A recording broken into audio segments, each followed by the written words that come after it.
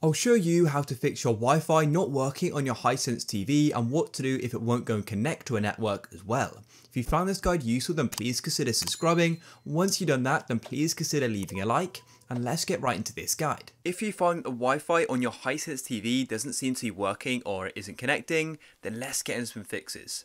So firstly, let's head to our network settings and our internet settings. So hop onto remote like so, tap on the home button, this one here like so, and then you should be taken to this page here. And then what you need to do is go and tap down to settings like this, and then go and tap OK on settings.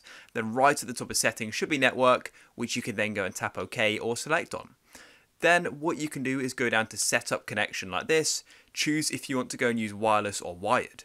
If you're finding that one of these isn't working, I'd recommend using the other. For example, if you're currently using wired and that isn't working, switch to wireless. And if possible, if you're currently using wireless, switch to wired. But that does mean you need a literal wire going from your router uh, to your TV. So while you're sort of repairing this, it may be worth placing your TV right next to your router to then go and use the other connection. However, if you really want to get wireless working, then we can continue using wireless. So tap OK or select there, and it's then going to go and look for networks which are available. Your TV network should then load. So if you're finding that no networks are appearing here, this is likely because your TV is too far away from your Wi-Fi router. Like for example, if you're maybe first setting your TV up or you've moved your TV to a different location, then this is just because your TV is literally too far away from the connection. However, if you haven't moved your TV and the Wi-Fi used to work fine, then keep watching as we're going to get into some more fixes. So yeah, uh, if your sort of if, if your TV is in a new location or you're recently setting Wi-Fi up, then simply move it closer to your router or try and get a Wi-Fi booster or something like that. However, if the Wi-Fi used to work on your TV fine and you haven't moved it, then there are some other fixes we can try. So what I recommend doing is restarting your TV. So to do that, there's actually a combination of keys we need to go and press. So what you need to press is the home button five times, then up, and then you go and press the rewind button twice and the fast forward button twice. Now we'll do that all together. So I'll press the home button five times. One, two, three, four, five. Then the up button, then rewind and fast forward like that. And then your TV is going to start moving sort of randomly like that, and it's going to go and freeze. And this is all part of the restart process.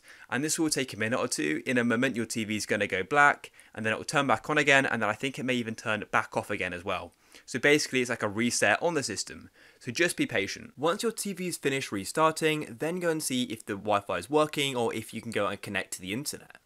If it still isn't, there's another thing we can try, but we need to do this in the system operations menu. So to get here, once again, we need to come onto the remote and there's a certain key combination that we need to go and click. And that's going to be pressing the home button five times and then you need to go and press uh, fast forward, play pause, rewind, then play and then fast forward. We'll do that all together now. So uh, home button five times, one, two, three, four, five, then fast forward, play and rewind, then play, fast forward, and then as you can see we then get this platform secret screen appear. Uh, let me focus, there we go. And in the bottom right we've then got some options, so tap up to Systems Operations menu, tap OK or select there, and then what you want to do is go to Network menu and click on Disable Network Pings like so. As you can see it now switches to Enable which is what you want, then go and press Cancel, and then what you can do is go on to remote and press on the home button just like this. And now what we need to do is just go and restart our TV again. Just like earlier, to go and restart our TV again, you press the home button five times, then the up arrow, then the rewind button twice, and the fast forward button.